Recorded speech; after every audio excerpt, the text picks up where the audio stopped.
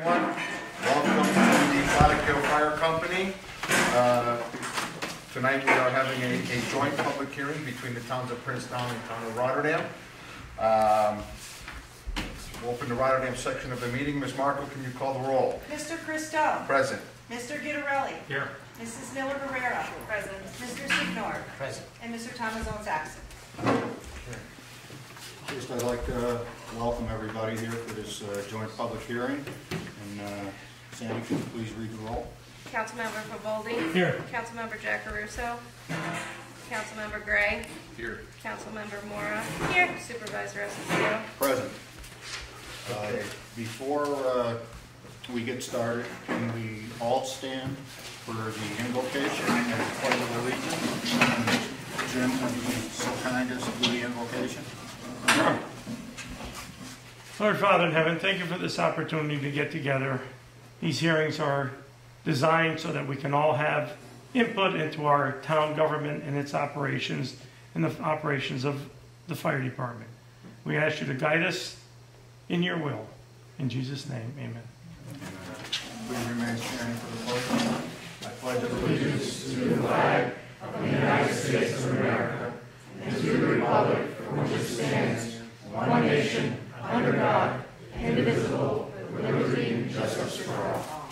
Could we all remain standing for, I don't know that uh, one of our uh, state police was killed in a uh, tragic accident in Northville.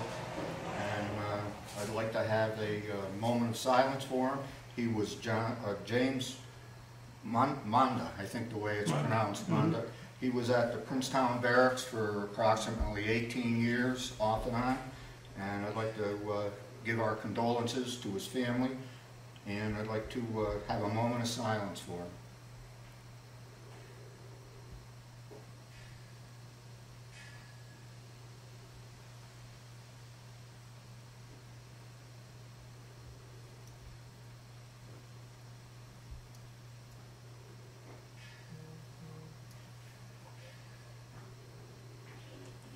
Okay, thank you very much.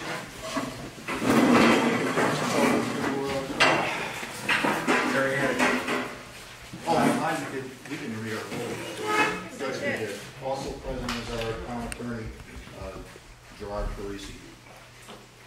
All set, thanks.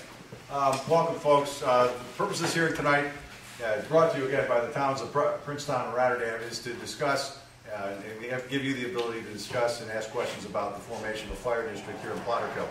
Um, And we're going to go over what, what a fire district is. It's a little bit different than uh, uh, the current configuration that, that we have now, where the, where the fire company contracts with each of the towns.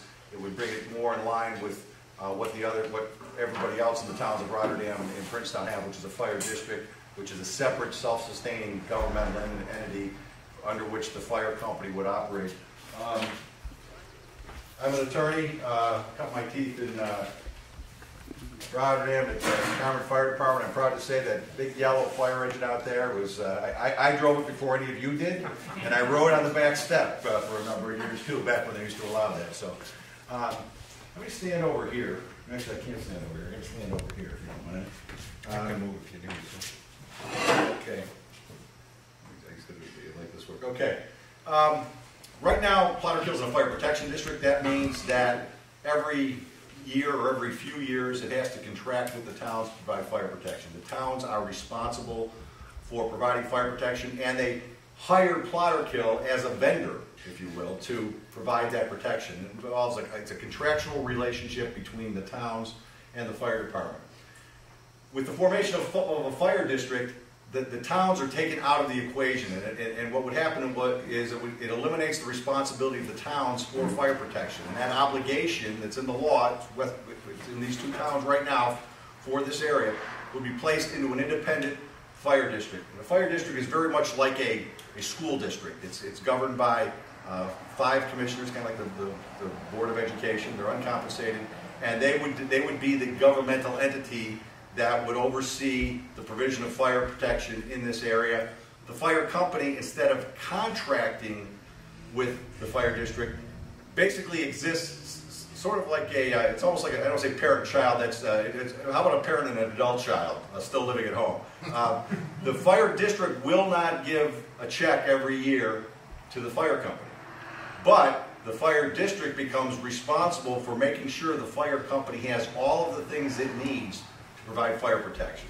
So that, that's how the, that's basically how the relationship changes. But the, I guess the biggest benefactors are the towns because they get out of the fire business. I don't know that any of them wanted to be in it in the first place. Uh, and, and control of, of firematic uh, operations then comes under the Board of Fire Commissioners. Um, the typically, it's five, it'll be five commissioners. The, uh, the initial board will be selected by agreement between the towns. Um, there'll be, it- it's part of the going forward process, there will be names that, I know the fire company's gonna recommend, but it's up to the towns to select the two, the first, initial board of fire commissioners. Um, being a fire commissioner in a brand-new district is kinda like being an executor to a will. Uh, I tell people that come in, will, do their wills, who, do- who you really don't like, okay? Because that is a lot of work involved, particularly in setting up an initial fire district. So, uh, these first five commissioners have a lot of work for, uh, uh, um, cut out for them. After this year, they will be, they will be elected annually. The, the fire district elections are in December, and there will be, uh, in the first election, there will be five commissioners elected. They'll be elected on a kind of graduated basis, so the following year, there'll be one elected, and then there'll be, you know, there'll be a five-year term, four-year term, three-year term. All, it'll all work out, everybody has a five-year term after, after, uh, in the, in the year, in the sixth year. So, uh, that's, that's how the selection's done. People who reside in the district are allowed to vote, and typically the elections occur at the firehouse. Um, as I indicated, we don't need uh, any more contracts. There won't be any contracts. In fact, there's no provision in the law for contracts to exist between a fire company and a fire district. Um, The the fire company will remain the same. The fire company doesn't meld into the district. The fire company retains its status as a not-for-profit corporation or not-for-profit association and works hand in glove with the fire district. Okay, it's, it's, it's uh, the, the classic symbiotic relationship. They need each other. Uh, in places where there's been dysfunction, it's because they don't appreciate that the, the commissioners need to provide and, and the fire, firefighters need to show up and need to provide the labor, labor pool. In, in, in most cases, everything's work out, everything works out swimmingly well though, so I don't don't wanna get off the wrong foot here. Uh, why you form a fire district? Well, uh, these are the topics we're gonna cover very quickly tonight. Why, how it's done, costs and benefits, the impact on the community, and the impact on the fire department. Let me just dwell for a moment on impact on the community. There's not gonna be any change in the way fire service is provided. You live in this district, or you live in this area, this protection district, you dial 911, Plotterkill's coming along with the automatic mutual aid companies and various other companies. That's not gonna change at all. The delivery of, of the services is gonna change, the, the, the, the way that the department functions, gets toned out, is not gonna change at all. And that's kind of the beauty of, of where we're now. What we're talking about is really changing the administrative aspect of providing fire protection, not changing the operational side of it. But there will be, I, I- submit to you, benefits that come over to the operational side, particularly for the firefighters and the chief officers and the, and the civil officers in the department, because, in the fire company, because they will not be burdened with all of the administrative obligations they have now. Those obligations will be placed on the, on the, on the fire district board of fire commissioners. Why it's done, uh, fire districts provide an efficient administrative organizational structure. Basically, it's administration and governance we're talking about here. Taking out, getting rid of that contractual relationship, getting rid of the, the, the bidding and bartering that has to go on between the companies and the towns every few years, taking the whole political component out of, uh, you know, town government and the fire service. Uh, and ideally, uh, and I think you probably folks are aware of it, you know, every, everybody around, in a, most everybody around here is in a fire district. Um, they, they tend, they tend to work pretty well. Um, legal liability will shift from the towns to the Board of Fire Commissioners to the district. If The district becomes its own governmental entity. Uh, the Board of Fire Commissioners becomes the authority having jurisdiction. That's significant for you firefighters because, as you know, under NFPA and OSHA and PESH and all those things, right now the towns are your authority having jurisdiction. They would probably pass out if I told them all of the things that they're responsible for that they have no idea about that have to do with firematic operations. So, um, and this, and that's, and I, I don't say it to scare them or demean them. They've got so much other stuff on their plate that it really works to the benefit to have the fire service governed and, and run by people that can just, they don't, they don't, the Board of Fire Commissioners doesn't have to worry if the roads are plowed or the toilets flush or there's water. Yeah, all they have to worry about is the fire service. And that's, that's where I think the big benefit's gonna come in, uh, for the fire, for the fire department. Uh, Fiscal responsibility, again, shifts from the towns to the board. The board will be responsible for levying taxes. Right now, it's the towns doing it uh, after uh, a contract negotiations with the fire company. And then uh, lastly, firematic operations, dispatch response are unchanged. Okay, we're gonna, it's gonna be, some of you are old enough, uh, my, my age, I went to school one day, I came home, was Esso gas in the gas station. I went to school the next day, it said Exxon, okay? It was the same gas, it was just a different sign, okay? It's gonna be just like that, it's just, there's not gonna be any change in what goes on there, it's, it's literally just an organizational change. Okay, um, there's, uh, you know, uniformity, continuity, governance, budgeting, taxation. Um, not in any, the- either of these towns, but you would be surprised that some towns can get really dysfunctional, villages even more so, with respect to how they, how they fire companies, fire departments are operated. This will keep it all, uh, under the administration of five people whose only responsibility is, is to make certain that you firefighters have what you need, and the, the, the- and that it's provided, the service is provided the most economical and efficient means. All the commissioners have to reside in the fire district. Okay, you're not getting anybody from outside of the district coming in and levying taxes, so that, you know, everybody has to, and that, and that's, you know, one of the better things. Everybody's gonna be, you know, the people on that board are gonna be, uh, people that have to pay the taxes as well. Um, and, and ability to provide for long-range planning. This is probably the most boring, but the most important, uh, because the, the, the, the Board of Fire Commissioners can project into the future, hey, we're gonna need a new roof in twenty-five years, we need a new boiler in three years, we're gonna need to replace that nice yellow engine out there with one that is more, you know, fits the Plotterkill color scheme, all right? Um, in, in, in five years or whatever. So they can plan that, they can do, they can build their budget around it, and it's not so much living from hand to, hand to mouth like you do when you're a contract company. Uh, they have the ability, under the law, to establish reserve funds to actually save money, you know, the, the classic rainy day situation. Uh, why it's done, uh, the, this is the point I like the most. Uh, there's an established body of statutory and case law. It's, it's real easy when we have fire district questions. There's a long-standing body of law. Um, there's a couple of cases out there that happened with towns that, you know, when there was a liability on the fire department, towns didn't know they were on the hook for it. Okay, firefighter makes a left-hand turn, you know, you hit somebody going to call, if they're in a fire protection district, that's the town's responsibility. If they're in a fire district, it's the fire district's responsibility.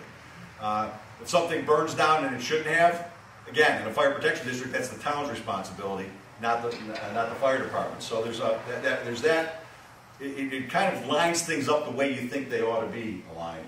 Um, provides a better method for budgeting and taxing. Um, yeah, the, fire, Board of Fire Commissioners spend a couple, three months out of the year planning on the budget, you know, doing the budget and figure out what the tax levy is gonna be. Um, in year one, I can tell you, it's not gonna be that much drastic, that, there's not gonna be a drastic change, it's not gonna be that much different than it is this year, in 2022, won't much different in 2021.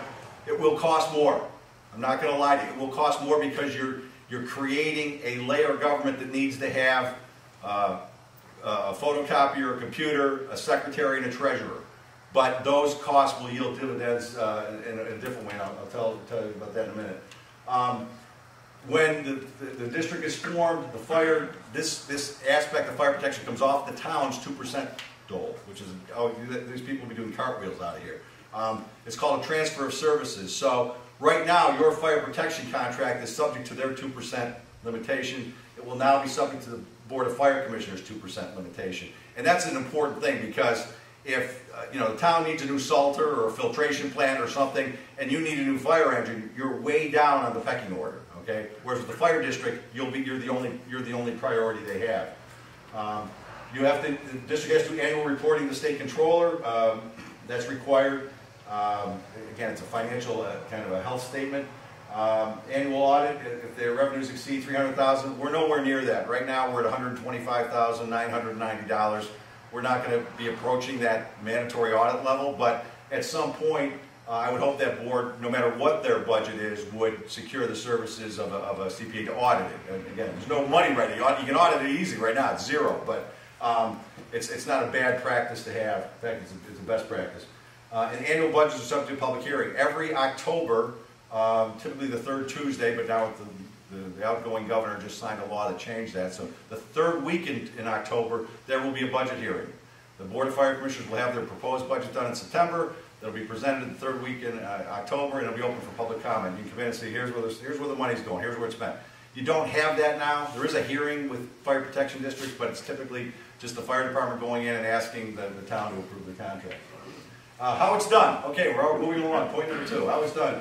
Uh, resolution by the town board is to uh, conduct the hearing, we, that's been done. Conduct the public hearing, that's what we're here doing right now. And there's essentially three questions that each of these boards is going to have to answer. And they are, is the formation of a fire district in the public interest?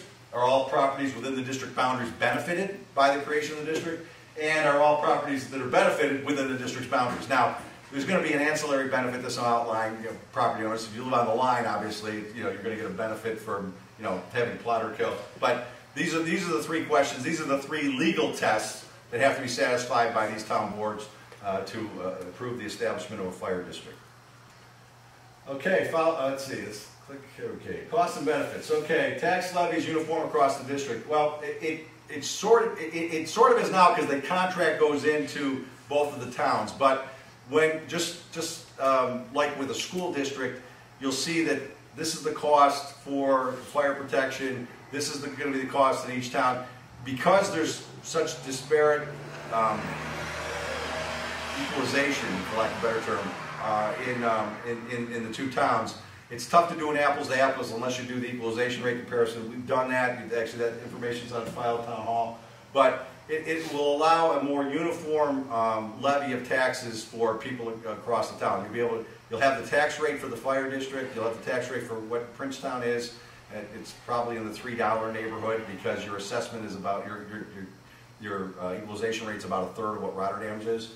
So uh, Rotterdam would be around a buck eight, buck ten, which is what it is now, um, uh, per thousand. Princetown's more, only because your assessed valuation is a third of what Rotterdam's is. Um, governance is by the independently elected Board of Fire Commissioners, again, similar to a school board. Uh, just like school boards have their own elections, so do fire districts. They will always be the second Tuesday in December. Uh, there's a whole statutory process that we have to go through. If you're interested in running, uh, we can help you out. Uh, Commissioners are appointed initially, as I indicated, then they, they run, and they they each have a five-year term after the first election. Um, Commissioners are, are the only entity that has to go through mandatory training. This was a, a law that was uh, enacted in 2007, um, and basically to train them how to be commissioners uh, and, and cover all of the subject areas, the administrative areas. Uh, the board is trained in fire service administration. That's something a little bit different than the state mandated training. There's a whole lot of stuff out there that, that we as firefighters know that the AHJ needs to know. You know, when the chief goes in and says, I need, you know, I need, I need bailout ropes, I need uh, SCBA's, I need to have fit tests, I need to have physicals. Um, if they went to the town for that, what are you talking about? What, chief Handler. We don't, we, you know, this way the board of fire commissioners was ultimately responsible for it you know, basically amasses that information and knows the administrative, uh, the, the, the firematic uh, rules and regulations, not just the ones that the state requires for, for governance. And then uh, commissioners are not compensated. That, they know that there have been some pretty innovative ways to try and do that. They can't be provided health insurance. They don't get uh, they don't get any stipends. Uh, and uh, you know, they're, they're, it's, it's, a, it's a free job, just kind of like the, the ones that the, Board of Education does. Okay? Again, cost and benefits, board becomes the authority having jurisdiction for all legal matters. Board will be responsible for all fiscal and liability matters, which I touched, touched upon briefly. Um, There's clear areas of delineation between the board and the fire department. Um, And this is, this is where we get into how it affects the fire department. Right now, you know, if, if there's gonna be, you're gonna purchase a new fire truck, the, the, the truck committee for the fire company has to not only figure out what they want for a truck, they have to figure out how they're gonna pay for it, how they're gonna go to the towns, how they're gonna be able to get money from both towns, you know, what, what are they gonna, this is all done differently in a fire district. The board of fire commissioners are responsible for figuring out what you're gonna get, still be truck committees, but figuring out how they're gonna pay for it. And the board can, like um, any other municipality, issue bonds, basically issue uh, IOUs, get money, pay for the, pay for the asset, and pay for, pay it down over, over time, pay it over the year. Uh, and bonding is the preferred way that the government, the, the state government wants localities to, to borrow money. So it's a different, um, it, it's, it's highly regulated, it's very, it's very stringent in what can and can't be done, and there's procedures that guarantee that there's not gonna be any leakage, meaning there's not gonna be anybody running off with your, your tax money. Um, board has the ability to develop comprehensive plans. As a firefighter, I like that because I know that that engine that I used to ride on, it's getting near, it's probably well past. It's more than 20 years old.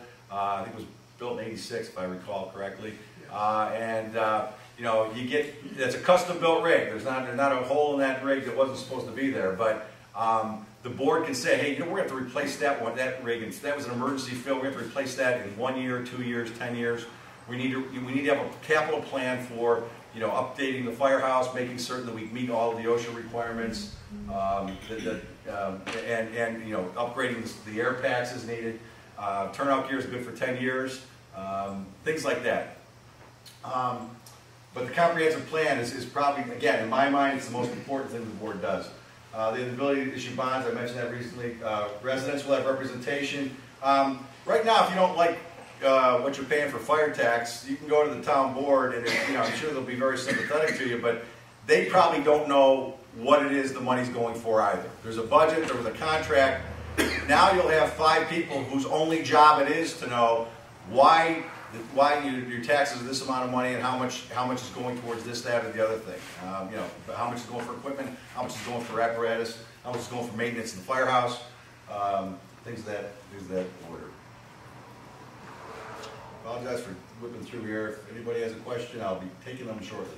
Uh, impact on the community, um, yeah, uh, it's, it's gonna cost about what it's costing you now. It's gonna cost you more. It's gonna cost you more in the future than it does now. That's, I, I, that's all I can tell you. Um, board, the boards of fire commissioners tend to be very fiscally, uh, conservative because they end up paying as well.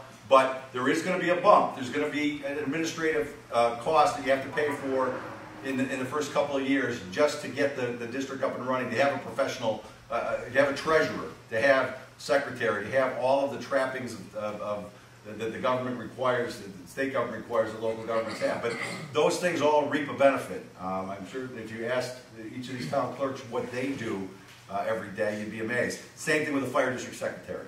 Uh, same thing with town controller, same thing with the, with the, with the district treasurer. So, uh, very important jobs. Uh, those jobs are compensated, uh, typically are compensated. Um, uh, they should be compensated. Impact on the fire department. This is, um, this is where I can speak from my own knowledge. I've only been in fire districts. I, I grew up in Western New York, or started out in Western New York, moved to Rotterdam and didn't want to move away. So uh, when, I, when I came to Albany to law school, but um, there aren't a lot of districts out there, so I'm, I'm familiar with the relationship. And, and as you know, being a fire company, there's a lot of stuff you do, there's a lot of volunteer time you do, and then on top of that, running the calls, and then, oh, by the way, we have to have a meeting tonight because we have to, we have to review the contract for the upcoming negotiation with the towns for it, okay? There's not enough time in your day to do this, all right? There's not enough time to train and be a firefighter and do all, do all the things that have to be done, and then have, essentially run a business on the side, because that's what the fire service is. You're running a business. So now what happens is you'll have five people who will have to make time in their lives, and, a lot of time in the next few months. Uh, but they're they're gonna run the business for you. And they're gonna provide you with what you need to do. So that's gonna be a big lift off of the shoulders of the board of directors, the officers, the civil officers of the fire company, because all of the buying of the stuff that you need isn't that their obligation anymore. And primarily off the chief and the chief officers, because they will report to the board, they'll go in with, hey, you know, the board, I need this, the, the chief actually works for the board, is, is, is obligated to implement the board's directives, uh, kind of like the military is with the president. So the chief runs the fire department, but the board sets the policy and, and, and sets the tenor for how going to operate. Um, you're not going to get a check every year. So you're, you're, the way you maintain your, you do your fundraising is going to change probably. Um, uh, obviously, in that check, you're spending most of that money for firematic things. Um, so it means that for the fire company to maintain its its own resources, it, will need to do fundraising or, or, or, different means of fundraising, just like every other charitable entity does. The nice thing is you're not buying fire trucks with it. You're not paying for fuel with it. You're not paying the electric bill for it. Um, uh, eventually, there will probably be an agreement for the you know use of the firehouse and whatnot. All things that have to be ironed out. But that's typically what happens because the fire company owns everything right now. Um, I would imagine most of the assets, at least the, the rolling stock and all the equipment will be turned over to the fire district. Those, that, those apparatus, they look nice, but they're not any different than horses. You have to feed them and clean up after them, okay? And it becomes a very expensive proposition. So, um, not to slight anybody, but my feeling is that the people that don't get out of bed three in the morning ought to be paying as well as me. So, um, and then uh, the savings, you know, and again, this is the big one. It's to the firefighters in their, in their time and their hours. Um, I would much rather spend, you know, three or three hours or eight hours, you know, training than I would eight hours in a meeting doing budgeting and planning and, or flipping chickens or pancakes because we gotta buy, you know, two new tires for the apparatus. And that kind of stuff has to, does go on. Okay, here's the protection contracts right now, uh, quick math in my head, 125, 990 was the total contract amount. Um, I expect that's gonna stay the same. This is, this is where I, I, uh, I'm technologically challenged, but I managed to get this all together. So this is a, a copy of a statement that's on file with each of the towns using the assessed values from, um, both towns, um, this year. Um, and, uh, the red is, I've just added, the, the, the final assessment rules for twenty twenty-one were just completed. Those are the red numbers. So, um, and what this, what, and this is significant, over here in the left-hand column is the, is the contract amount. The rest of this stuff is the property assessment. Now, go to the far right-hand column, there's two hundred fifty-seven properties in Rotterdam, four hundred and twelve properties in Princetown that comprise this protection district. They will, those same properties will comprise the fire protection district. So you've got six hundred and sixty-nine properties that are going to be paying taxes to support the fire district. They already pay the taxes now. Um, the, the reason it's significant, the, the, the, the uh, ad valorem value is significant is because when the fire district is going to prepare its budget, it's going to look at what the total value of the property is and roughly, and not, I don't want to bore anybody further than I have to, but roughly they can tax approximately $1,000 for every million. So uh, there's $121 million right now. Uh, they're going to be able to levy about 120 $1,000. Wait a minute, that's $4,000, $5,000 less than what they're levying now.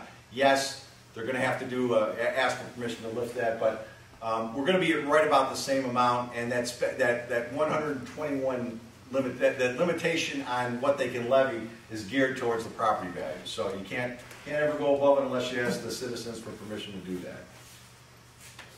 Uh, expectation, uh, again, this tax levy will remain about the same, although there will likely be an increase in expenses. Okay, I'm telling you, I wrote that, there will be an increase. There has to be an increase because we gotta pay for this, to get this other thing off the ground. Um, And then the charges for that are, are become charges of the district. The district becomes obligated to pay all of the expenses uh, going forward. Questions? That's me, and that's my law office. It was the original firehouse in the town, in the town of Bethlehem, Delaware. That's what it is now, so I thought that was kind of a neat thing. But, and no, I'm not in the picture. Fiorello is, but I'm not. Diane, did anybody sign up on the list to speak? I was just gonna grab that.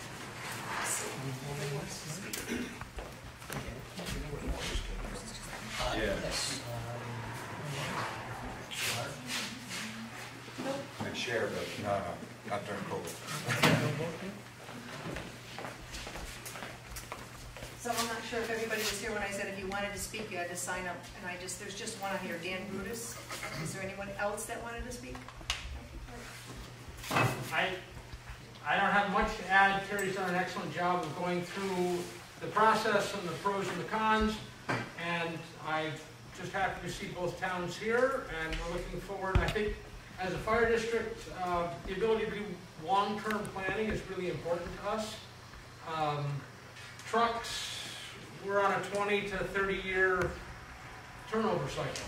And so, you know, we're looking out, we're gonna start saving when we get a new truck for the next truck that we're gonna get in twenty years. And so I think that's a different timeline than maybe the towns are looking at, um, when they're, when they're budgeting. So I think that's gonna be real helpful for us to be able to start, uh, savings accounts to take care of those things. Uh, when I started twenty-five years ago, we just put a brand new roof on. That was twenty-five years ago. So now it's time to start looking at, you know, it's not leaking, well, that's good. Uh, but that's, that's the kind of long-term stuff that I think is gonna be real beneficial to the fire district. Other than that, I don't know what to say. Thank you. I have a question. Sure, It's not gonna affect their ability to have their annual Christmas party, right? not at all. Or their invitation of me to go. Any other questions on tonight's public hearing? Any other comments on tonight's public hearing? All I got to say is, I carried the plaque when he built it. Ask Warren Gifford. Wow. And I was about 10, 12 years old. Uh, Yes, our uh, town, Princetown, has certainly been very supportive of of, uh, Plotterkill over the years. And to be quite honest with you, uh, I know nothing about running a fire department. So when the board of directors of Plotterkill asked to become a commission district, the general consensus of our town is that we're very supportive of it. And like I said, I know nothing about running a a fire department. I can drive the truck because I've been in the trucking industry for 52 years, but I cannot, I don't know any of the equipment that's on it. I don't have a clue. It's all I know about fighting a fire is, if you have a, a fire, you throw water on it. If it's a chemical fire, I don't know what to do. I call 911. And the fire department shows up, or if I have a medical emergency, which I had at one time, the EMTs or the paramedics show up. It's usually from the fire department. And I do thank, and our town thanks all of the volunteers in Plotterkill for their dedication and service. I think the town of Rotterdam sits in the same position as our friends in Princetown. And again, on behalf of the town of Rotterdam, thank you, all of you, for your service, because it takes each and every one of you to make it work. And as uh, Terry said, you know, those of us who don't have the, uh, don't, don't, you know, don't have to get up at three in the morning, you know, there's, there's, there's an obligation to the community that, uh, that I think this is a great move and, and a long time overdue, if nothing else. So again, hearing no other, uh, Yeah, one, yeah, one more Yes, quick, com- Jim one more quick comment. comment. Uh, my degrees are in risk management, and one of the fundamental things we learn first is always transfer risk when you can. So for me, transferring risk from the town to the district, that's all I gotta hear, and I'm in. Okay, just gonna ask three more times officially like we do at our town meetings. Any other comments on the public hearing? Any other comments on the public hearing? Any other comments? All right, from the Rotterdam side, we declare the public hearing closed. Uh, Any other comments? uh, Cole, Doug, Jen? I have no further comments. Uh, Is there a motion to close the meeting, the public hearing? Yeah, I'll make the motion. I'll second. Uh, Diane, would you like to? Um, Evan Christou made the motion, I didn't hear who seconded. I second. Jim?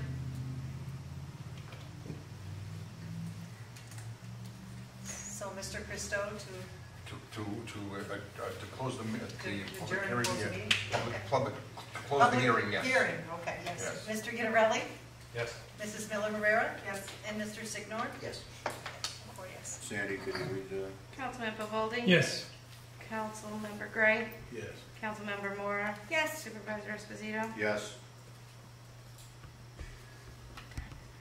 Public hearing is closed. Public hearing is closed. Any other business? No, right? No. Thank you, everybody, and again, thank you for your service. Thank you very much. We appreciate you all coming up.